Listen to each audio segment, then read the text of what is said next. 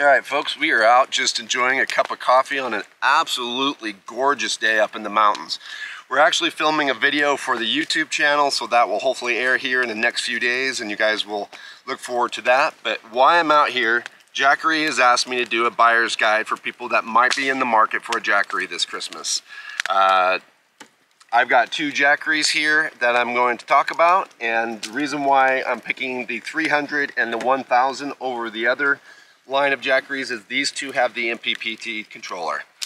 And what that means is they can charge a bit faster than the older ones and also they can charge and discharge, uh, which will give you some more distance out of the unit when you're out on a trip.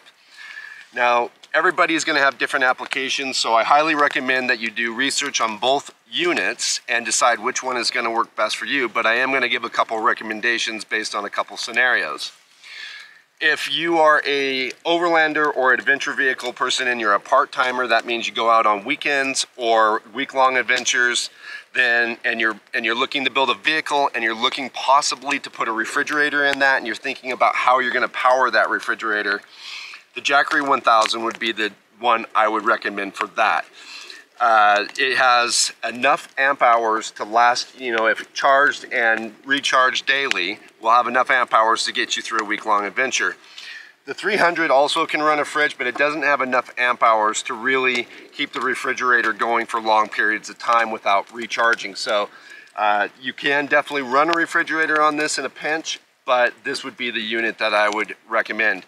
Most vehicles nowadays have cigarette lighters that go on and off with the vehicle. So if you leave the cigarette lighter plugged into the Jackery so that every time you're driving and you're putting some charge back into it, this should definitely last you on a week-long adventure. I would also recommend starting off with the unit fully charged before you take off. Uh, the other nice thing uh, about going this route versus say a full dual battery system is A, dual battery systems are expensive if done right and complicated.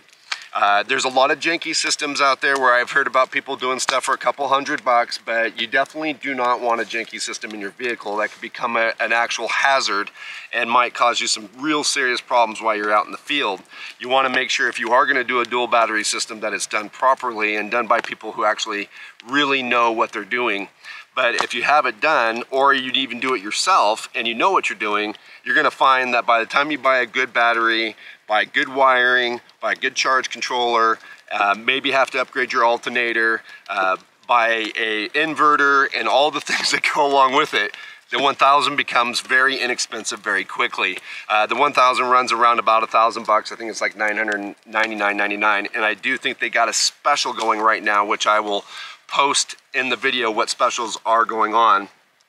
But that's why I would kind of recommend this. If you don't really need to put a dual battery system in, don't. Go with a portable unit that is all in, where everything's already in the unit. The other nice advantage to this is you can use it for other things other than what you intended its purpose for.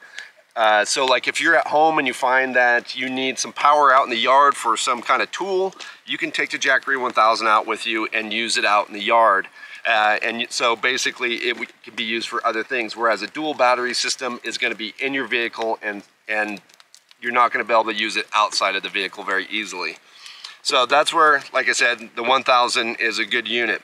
Now, if you are, say, somebody who's living in your vehicle, you've already invested in a good dual battery system because you have more components than what the Jackery 1000 would be able to keep up with, and that is my particular case. I do have a dual battery system built into the van, but I do live in the van full time, and so therefore by between running my laptop and editing videos and running the other accessories that I have in the van, um, I, I did need to put a dual battery system in. But that's where the 300 comes in for me.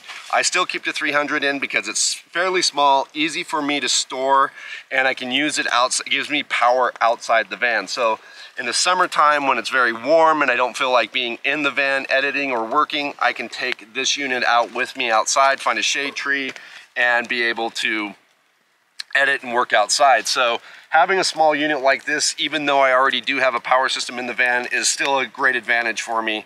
And again, this is the one that I preferred. This one you could do that with as well. It's just gonna be a little bit bulkier and more and a little bit more storage, but I will say it was kind of nice the other night. We used it with an Instapot and which you wouldn't be able to run an Instapot on the 300, but we used this with the Instapot. It ran it no problem and uh, we had an amazing meal uh, using the Jackery 1000. So kind of kind of different things. But like I said, really do some research if you're thinking about buying one. Pick the one that's going to be best for you.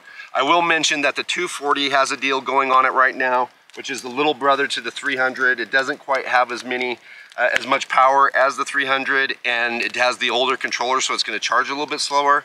If that doesn't matter to you, then you know take a look at it because it does have a deal going right now for Christmas. But anyways, guys, I hope that you guys found something of use in this uh, video that might help you with your decision making if you are looking at a Jackery. And if you did, please give it a like. If you have any comments or questions, leave those down below. And we'll catch you guys again outside.